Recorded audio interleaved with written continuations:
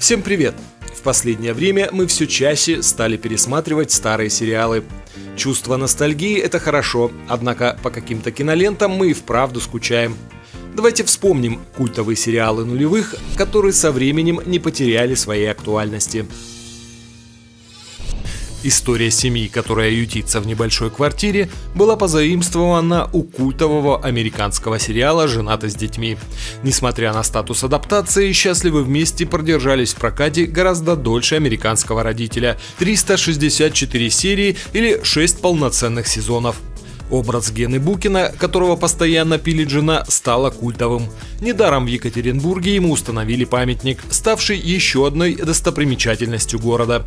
Если убрать за скобки туповатые шутки и закадровый смех, счастливы вместе во всех красках обрисовали жизнь провинциальной семьи, затронув темы кризиса среднего возраста, взросления и даже бракоразводного процесса. Трудно поверить, но сериал завершился более 8 лет назад. Однако это не мешает широкой фанбазе пересматривать его снова и снова, по крайней мере первых три удачных сезона. Самый дорогой российский сериал «Бригада» произвел настоящий фурор в умах молодежи 2000-х. Простые парни, Белый космос, Фил и Пчела на протяжении 15 серий строили свою криминальную империю, попутно решая свои бытовые проблемы, будь то наркозависимость или проблемы с супругой.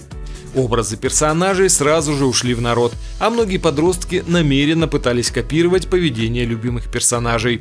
В отличие от большинства криминальных драм, бригада имела четкую мораль, которая подробно обрисована в 14 серии. Кстати, был еще отснят полноценный фильм с приставкой «Наследник», Однако многим хотелось бы увидеть полноценное возвращение любимых героев и узнать, как сложилась бы их судьба в уже наше цифровое время. Если спросить, какой самый успешный сериал середины нулевых был у канала СТС, более 40% опрошенных в один голос ответят «папины дочки». Несмотря на то, что сама экранизация является ситкомом, она имела оглушительный успех на ТВ и даже была удостоена премии ТЭФИ. История про отца, который воспитывает пятерых дочек с разными характерами, цепляет зрителя. Было интересно, как растут девочки, а после появления в их жизни вернувшейся мамы менялся уже сам глава семейства. Все скатилось к 14 сезону, когда помимо основной сюжетной линии фокус сместился на семейные отношения Даши и Веника. Тем не менее, этот сериал любят, так что если не знаете, чем себя занять теплыми летними вечерами, милости просим.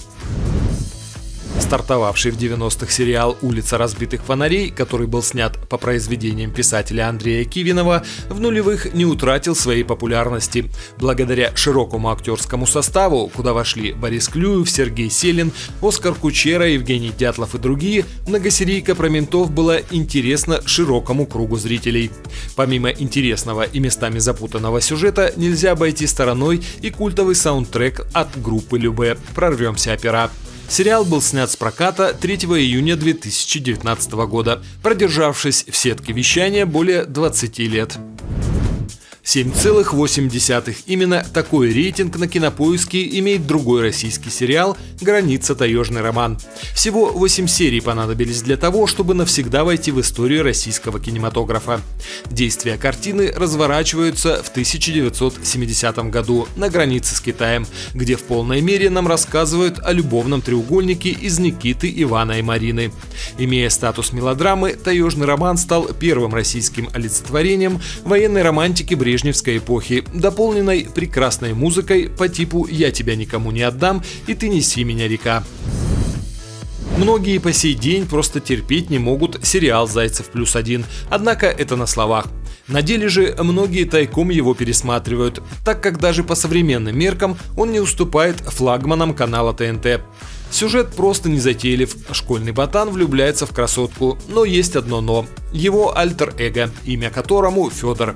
Сериал, состоящий всего из трех сезонов, буквально пестрил звездными актерами. Михаил Галустян, Татьяна Мухина и даже Жерар Депардье. Сериал вовремя свернули после того, как рейтинги начали постепенно падать. Сейчас его можно увидеть разве что на ТНТ-4, где его периодически крутят в перерывах между универом и стареньким Comedy Club.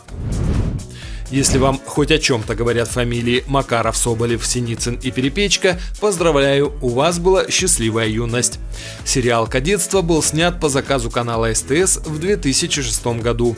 На роль воспитанников Суворовского училища набрали молодых и талантливых актеров, зарекомендовавших себя в менее масштабных проектах. На экране развернулась настоящая драма, в которой была и служба родине, и любовь в тайне от руководства училища. Показ солдатской драмы завершился 10 декабря 2007 года. Однако на этом история не закончилась. Спустя год вышло продолжение под названием «Кремлевские курсанты». Однако по популярности и качеству съемок оригинал им превзойти, к сожалению, не удалось.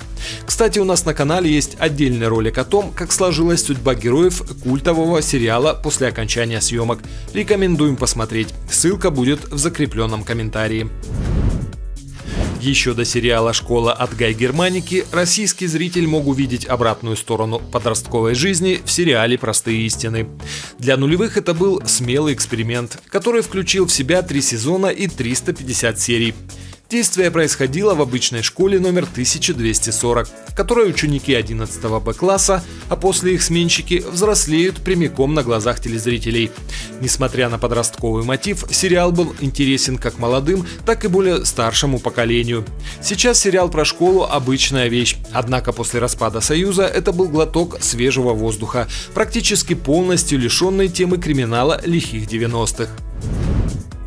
Если в вашем дворе жил мальчик Саша и девочка Маша, то их сразу же объявляли парой. Такой был вайп нулевых, навеянный комедийным сериалом ТНТ «Саша плюс Маша». Обоим слегка за 30, они живут вместе и не женаты.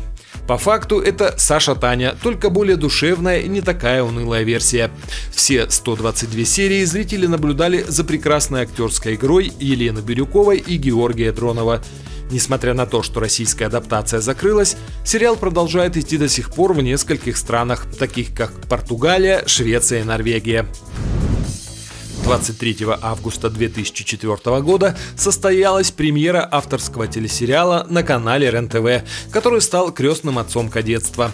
Речь, конечно же, о солдатах, которые насчитывают на сегодняшний день 635 серий. Кинолента изначально должна была носить фантастический характер с инопланетянами и НЛО. Однако позже создатели спустились с небес на землю и развернули действие в обычной воинской части. Незатейливый сюжет и колоритные образы актеров, в отличие от второсортных лент, не надоели, а сингл группы «Конец фильма» до сих пор вызывает скупую мужскую слезу у самых брутальных представителей сильного пола. Ровно 9 лет назад на канале СТС состоялась премьера сериала «Кухня». Кулинарная комедия для российского зрителя была в новинку. Все действие проходило в ресторане французской кухни «Клод Мане», которым заведовал Дмитрий Нагиев и шеф-повар Виктор Баринов, он же Дмитрий Назаров. Тонкий юмор, множество отсылок на известные фильмы прошлого и интересный сюжет сделали свое дело. Рейтинги СТС устремились в гору, а сама кухня не только просуществовала 6 сезонов, но и получила два полноценных фильма. Несмотря на появление таких спин как «Отель Элеон», «Сеня, Федя» и так далее, зрителям близка классика, о чем говорят многочисленные фан-группы, где регулярно публикуются нарезки лучших сцен. Десятые годы для отечественного кинематографа начались с адаптации американского сериала «Побег», русская версия которого транслировалась на Первом федеральном канале. На протяжении двух сезонов зрители следили за судьбой двух братьев Кирилла и Алексея, которые на протяжении 38 серий пытаются сбежать из тюрьмы. Накал страстей в купе с запутанным сюжетом держал зрителей в постоянном напряжении. Единственным недостатком побега является огромное количество персонажей, поэтому с наскока разобраться, кто есть кто, будет очень непросто. Машков, Маковецкий, Пореченков. Вот лишь неполный список звезд отечественного кинематографа из сериала «Ликвидация», который рассказывал о борьбе с преступностью в послевоенное время. Если сейчас спросить зрителей, за что они полюбили эту картину, они спокойно ответят – за атмосферу конца 40-х годов, которая передана очень реалистично путем тихих одесских улочек. Один из лучших сериалов нулевых по версии кинопоиска «Спецназ» при просмотре тоже вызывает приятное ностальгическое чувство. В течение семи серий Александр Носик, Владислав Галкин и компания борются с терроризмом, попутно поднимая философские проблемы общества. Если вы по какой-то причине не застали этот шедевр 2002 года, однозначно рекомендуем к просмотру.